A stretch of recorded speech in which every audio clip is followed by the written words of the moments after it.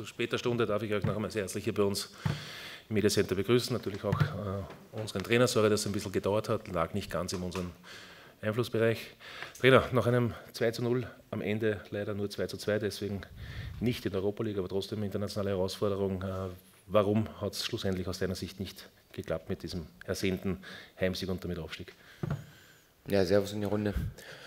Äh, sind gerade extrem enttäuscht. Ähm, muss man ehrlich sagen, wir hatten, glaube ich, alles, was wir gebraucht haben für einen, für einen schönen Abend, für eine magische Nacht. Ähm, haben 2-0 geführt. Wenn uns jemand gesagt hätte, 68. Minute führst daheim 2-0 gegen Braga und hast eigentlich auch das Gefühl, dass wenig, wenig passieren kann, ähm, dann hätten wir es alle so unterschrieben. Und dann schenken wir das Spiel komplett selber her. Ja, das, das tut weh, das ist sehr bitter. Wir waren, ich glaube, extrem knapp davor, uns für die Europa League zu qualifizieren. Und ähm, schenken einfach das Spiel in fünf Minuten her, wo wir einfach unkonzentriert sind, beziehungsweise Ballverluste haben oder falsche Entscheidungen treffen in der Defensive in, in, um unsere eigene Box herum. Ähm, ja, die schwierig zu verkraften sind. Äh, null Vorwurf an die Jungs, die waren wahrscheinlich müde, haben falsche Entscheidungen getroffen. Wenn wir dann morgen mal rausfinden, aber ähm, es tut einfach weh, so in der Art es nicht zu schaffen, ähm, wenn Braga Tore schießt aus dem Spiel heraus, beziehungsweise uns wegspielt und wir nicht hinkommen, alles gut, aber so ähm, bei der Führung, bei der Situation, wo du eher gemerkt hast oder gefühlt hast, ähm, wenn wir noch einmal vorne durchkommen, dann machen wir erst Dritte, weil immer was in der Luft gelegen hat und wir, wir gut verteidigt haben, dann äh, tut es umso mehr weh. Danke sehr. Christian, das Mikrofon kommt wie üblich und das dann die Frage stellen, bitte. Danke. Würdest, man, ich habe es auch so dass man darf natürlich auch sagen, auch die Rapid-Tore waren natürlich sehr billige Tore. Nicht? Ich meine, das Eigentor und äh, wie sich der Verteidiger dann, der hat 10 Meter Vorsprung gehabt, das ist egal. Aber war die Schlüssel, diese Phase nach dem 2-0, dass da ganz einfach, wann da, äh, da die bisschen mehr Präzision da ist, da waren nämlich wirklich ein paar Momente da, die nicht fertig gespielt wurden, dass es dann wahrscheinlich zu diesem Doppelschlag gar nicht mehr kommen kann. War das für dich für die Schlüsselphase? Ja. Also grundsätzlich fand ich die Tore nicht billig von uns. War ein guter Eckball, gut geschlagen, komm mal ran, verlängern. Gegner kriegt ihn ab und das zweite war richtig gut rausgespielt. Ähm, guter Ablauf.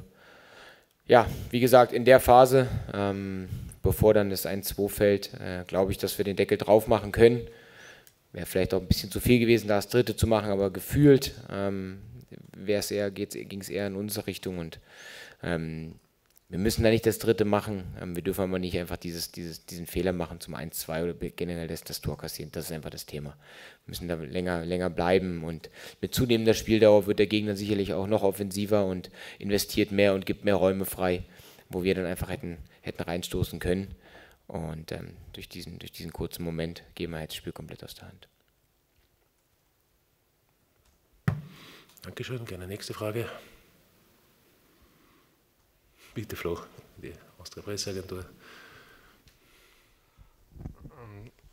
So, so, so, gut das Spiel war, so bitter ist natürlich der Moment, ähm, die, die Rückschläge, der, Rückschläge der vergangenen Spiele einfach. Ähm, wie, wie wichtig ist es vor dem Spiel am Sonntag gegen Salzburg, möglichst schnell die Mannschaft wieder hinzukriegen? Ähm, wie gefestigt siehst du sie auch, dass sie das gut verkraftet? Ja, wir haben jetzt wieder wenig Zeit, zwei Tage, um die Köpfe zu richten. Ähm, das ist ein kurzer Abstand. Ähm, da geht es darum, Frische reinzubekommen in den Körper, aber auch in den Kopf vor allen Dingen das zu verarbeiten.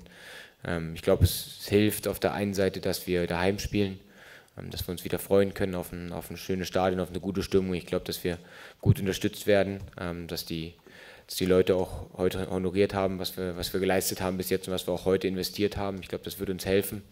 Ähm, und auf der anderen Seite ähm, müssen wir einfach auch ähm, Dinge umkehren. Wir haben eine Chance, wir haben die Chance, oder beziehungsweise wir haben uns qualifiziert für die Conference League, darf man nicht vergessen.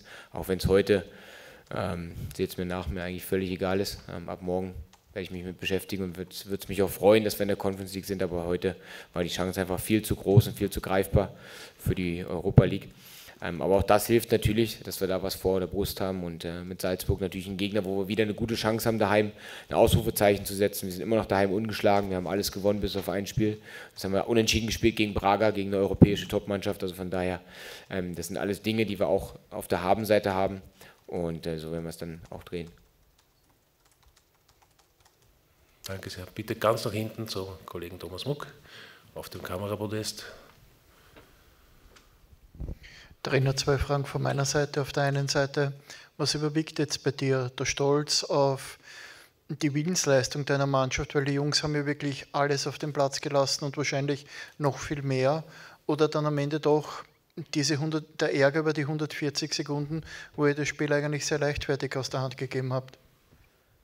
Im Moment ähm, ganz klar der Ärger und die Enttäuschung und die, und die Wut ähm, darüber, dass wir es nicht geschafft haben, weil wir so kurz davor waren und ähm, einfach alles, alles bereitet war für, dafür.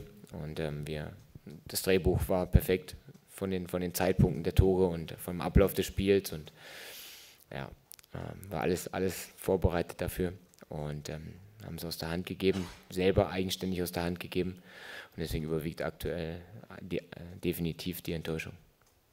Niki Hedl hat die gelbe Karte gesehen, weil er beim Elfmeter nach seiner Aussage nicht auf der Linie gestanden ist, sondern dahinter. Du hast nach dem Spiel die rote Karte gesehen. Ähm, hast du dem Schiedsrichter eine Pizzeria-Empfehlung gegeben in der Umgebung oder ähm, wofür war es? Ähm, ja, relativ simpel. Ich bin zu ihm hingegangen, habe ihn gefragt, ob er wirklich nach vier Minuten abpfeifen muss, ähm, weil die Nachspielzeit ja schon sehr viel Unterbrechung hatte und da kann man schon noch was drauflegen oder ist üblich, dass man was drauflegt ähm, normalerweise. Ich habe gefragt, ob man nach vier Minuten wirklich abpfeifen muss. Er hat ja gesagt, dann habe ich gesagt, Congrats. Ähm, also Glückwunsch. Und ähm, da hat er mir rot gegeben. Ich glaube, es liegt einfach daran, dass man nach dem Spiel ähm, auf dem Spielfeld nicht mit dem Schiedsrichter diskutieren darf. Ähm, da sind sie sehr streng geworden. Er mochte das generell auch nicht. Ähm, und dann geht es ja viel um Außenwirkung. Also die Schiedsrichter wollen immer, dass sie halt, dass man mit ihnen, ähm, wenn so spricht, dass keine Kamera das sieht, ähm, das geht jetzt einfach um Außenwirkung. Und ähm, deswegen ging, glaube ich, nicht um meine Wortwahl. Ähm, die, die hat nicht dazu verleitet, mir rot zu geben, weil das war, da war nichts dabei, aber es ging einfach um die Außenwirkung, was den Schiedsrichtern immer sehr, sehr wichtig ist, ähm, dass sie, dass sie in der in der Wahrnehmung gut wegkommen und dass man nicht mit ihnen diskutiert und dass sie souverän bleiben und dass sie ähm, dann einfach die, die Kontrolle über das Spiel haben und ähm, dass man da nicht, man da ruhig bleibt und man darf halt nicht gestikulieren, darf keine Emotionen zeigen und so weiter, sondern man muss immer ruhig bleiben und man darf halt nichts sagen. Und das ist schade, das nimmt ein bisschen auch die Emotionen weg, aber im Endeffekt ähm, ja, müssen wir jetzt damit leben. Zu der gelben Karte, keine Ahnung, was ihn da geritten hat. Generell fand ich, dass er schon vier gelbe Karten verteilt hat. Ähm, ungewöhnlich für einen englischen Schiedsrichter, dass er da so kleinlich war mit den gelben Karten, aber oh mein Gott hat er halt so entschieden heute und dann ist es so. Danke, Thomas. Bitte schön.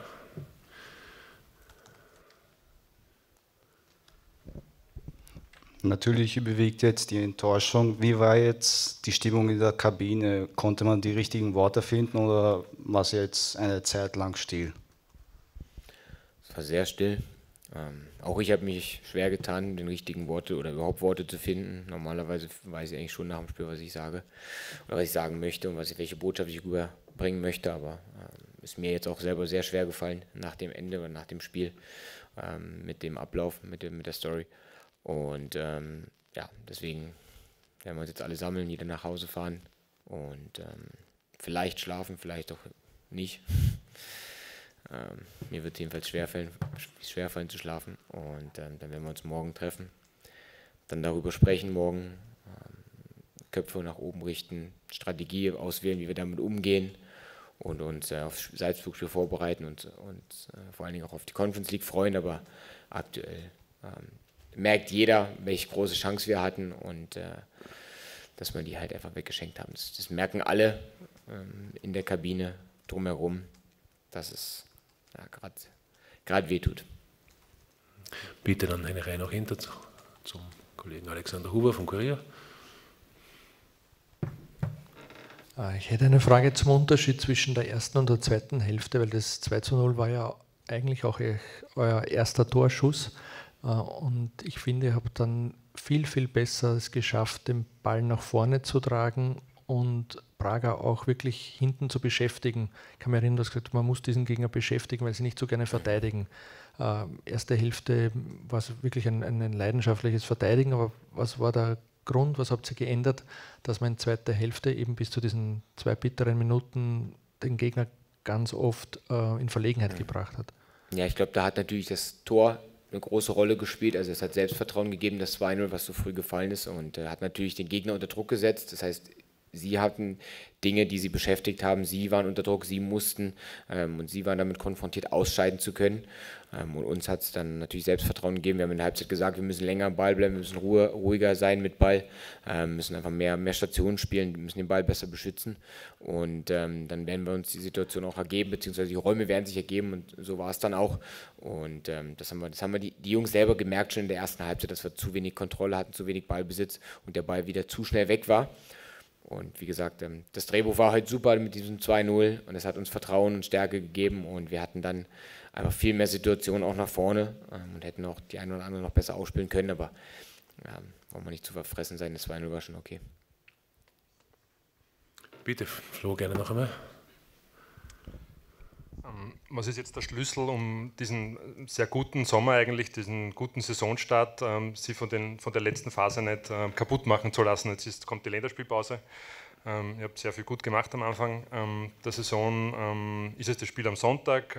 die Reaktion? Was ist das Entscheidende aus deiner Sicht, dass man aus diesem Sommer positiv rausgeht und nicht mit hängenden Köpfen?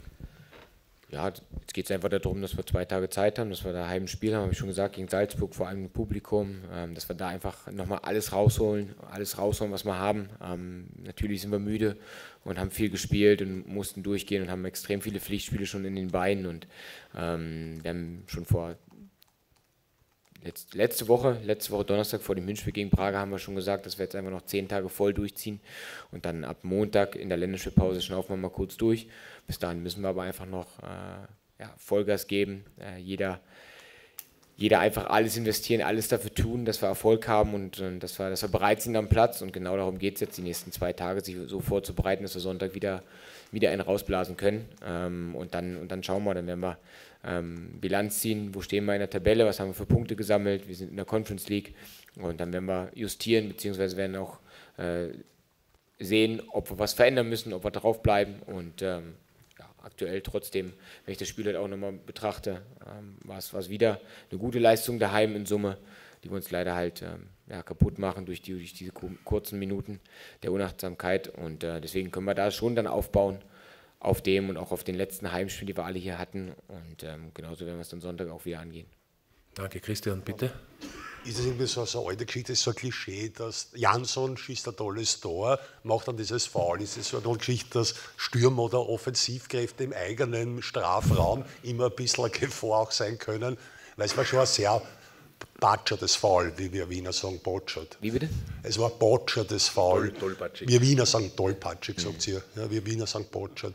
Ist es so äh, Ja, ähm, wenn man sich die ganze Szene betrachtet, vorher schon, dann ist es ja der Isaac, der einen weiten Weg zurück macht und den Ball zurückerobert. Vorher schon, also wo wir den Ball gewinnen, ist es ja der Isaac selber, der einen extrem langen Weg hat und uns aushilft hinten und ähm, das extrem fleißig macht und gut macht. Dann haben wir den Ball bringen uns selber in Bedrängnis. Ähm, und er hat dann einfach einen kurzen Moment, wo er einfach, glaube ich, äh, unkonzentriert ist, ähm, nicht damit rechnet, dass der Gegner so intensiv nachsetzt.